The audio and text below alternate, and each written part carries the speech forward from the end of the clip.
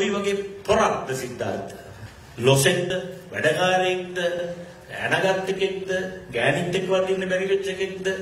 මොකෙක්ද කියලා. මේ කවුද කියලවත් අපි දන්නේ ජෝකර් කෙනෙක් කියලා විතරයි දන්නේ බුදුදහමට අපහාස වන ආකාරයෙන් මේ ප්‍රකාශ සිදු කළා. ඉතින් මේ ප්‍රකාශයන් පසුගිය දින කිහිපය තුළ සමාජ මාධ්‍ය ඔස්සේ ප්‍රචාරය වූ අතර කරුණාකරලා CID ගේ මහත්වරුනි මේ පුද්ගලයාත් අත්අඩංගුවට ගන්න. මේ පුද්ගලයා තමයි මේ සියල්ලම සැලසුම් කරේ මේ අන්තර්ජාලයට මේවා මුදා හැරියේ. ඊට පස්සේ සල්ලි එන විදිහවල් ගැන මේ දවස්වල බොහෝ දෙවල් එලිදරව් වෙලා තියෙන මේ ව්‍යාපෘති සඳහා. මේ ඊයේ නෙවෙයි පෙරේදනේ මේක කරේ අවුරුදු ගානක් තිස්සේ කරපේවා මේ පුද්ගලයාවත් අත්අඩංගුවට ගන්න. ඊට පස්සේ තිරේ ඉස්සරහට ආපු නැති අයවත් අත්අඩංගුවට ගන්න. අධිකරණයට ඉදිරිපත් කරන්න. එතකොට මේ එක එක්කෙනාට මේ දේශපාලන අවශ්‍යතා උඩ පාරවල් වලට ඇවිල්ලා රඟන්නට අවශ්‍ය වෙන එකක් නැහැ.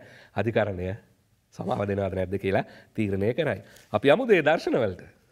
කොයි වගේ පොරක්ද සිද්ධාර්ථ? ලොසෙක්ද? වැඩකාරයෙක්ද?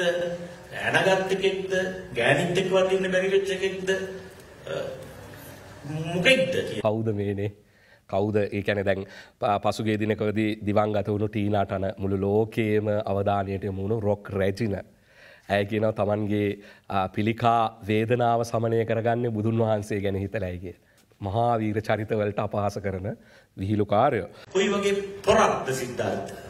අපිට විශාල සද්දයක් ඇහුණා. ඒ සද්‍යාවේ ගඟේ වතුර වලට තද යමක් ස්පර්ශ කළායින් පස්සේ ඇතිවෙන්නා වූ ඒ ගෝසාව. ඒ වගේ තුන් හතර සැරයක ගෝසාවක් ආවා. එහෙම ටික වෙලාවක් අපි බලාගෙන ඉන්නකොට උදාර මහත්මයා කරඬුවක් සහිතව කැලණි නදියෙන් ගොඩට ආවා.